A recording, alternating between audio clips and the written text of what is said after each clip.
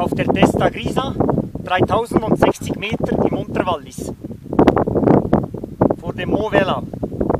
Im Hintergrund der Mont Blanc, rechts Grand Juras. Die weiße Kuppe des Mont Blancs, 1786, eins der wichtigsten Datums in der Geschichte vom Alpinismus. 1760 hatte Saussure die Idee, 26 Jahre später die Erstbesteigung. 1786 Jacques Palma Bakar. Das gilt als die Geburtsstunde vom Bergsteigen.